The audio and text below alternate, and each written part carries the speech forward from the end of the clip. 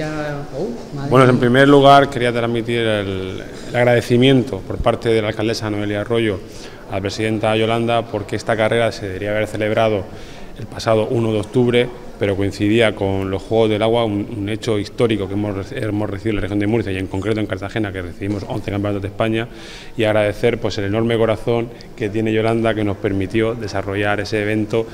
y retrasar esta carrera. Yolanda, muchas gracias por, ese gesto que tuviste con nosotros. Y en relación a esta carrera, pues, ¿qué, qué decir de, de la 10K? Que es una carrera que lo tiene todo, es una carrera deportiva, lúdica, solidaria, además está homologada, con lo cual para nuestros deportistas pues es una aliciente más para poder realizar, realizarla. Eh, van a tener más de 1.500 deportistas en, en nuestra ciudad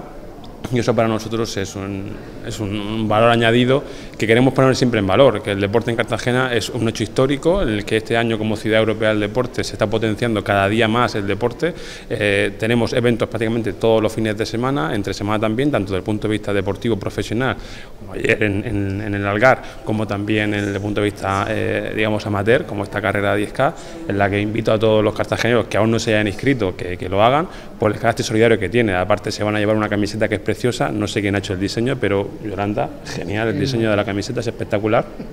Pues sí, la verdad es que hoy presentamos nuestra 10K del puerto de Cartagena, eh, pues al lado con la colaboración imprescindible del Ayuntamiento de Cartagena, de la Comunidad Autónoma, de la Armada, del Regimiento de Artillería, del Club Rutitón, de los voluntarios, de la Autoridad Portuaria de Cartagena, de los patrocinadores, en fin, de tanta gente implicada en esta 10K que se celebra la semana que viene, el sábado que viene, el 29 de octubre, y con nuestra reciente inaugurada Plaza Mayor es decir, no hay entorno y espacio más maravilloso que Plaza Mayor adaptado, como sabéis, un espacio adaptado para los, pues, todos los usos deportivos, sociales, culturales, turísticos, gastronómicos, pues todo eso se estrena también con la 10K del puerto de Cartagena. Esta 10K que discurre por el muelle Alfonso XII, Plaza Mayor, pasa por la terminal de Juan Sebastián Elcano, muelle Curra y playa Calacortina. Sabéis, bueno, y el empresario aquí también, que tenemos a Ana Correa. Eh, sabéis también daros información o, recordar la información que dimos de Playa Calacortina, la adecuación ciclopeatonal del entorno de Calacortina, donde se ponen en valor las baterías y además se garantiza la seguridad y la accesibilidad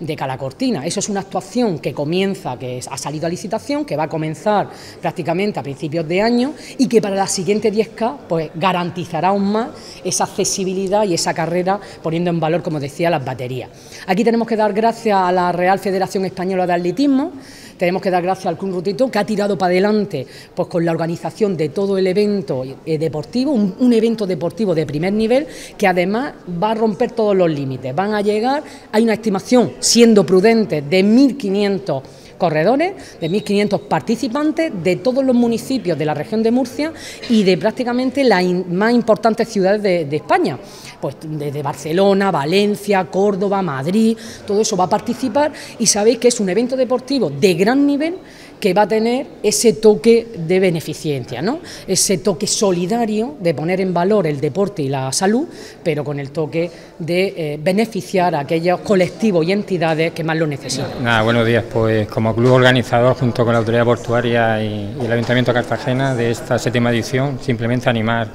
a las personas que todavía estén dudando, que quedan dos sales disponibles, que es una carrera familiar, festiva y, bueno, que, estamos muy contentos sobre todo con la, con la respuesta que hemos tenido este año. El año pasado con el tema del COVID tuvimos limitaciones de participación y este año pues realmente hemos vuelto a la era anterior al COVID con números similares y esto pues la verdad nos anima a seguir trabajando en esta línea. Simplemente quería...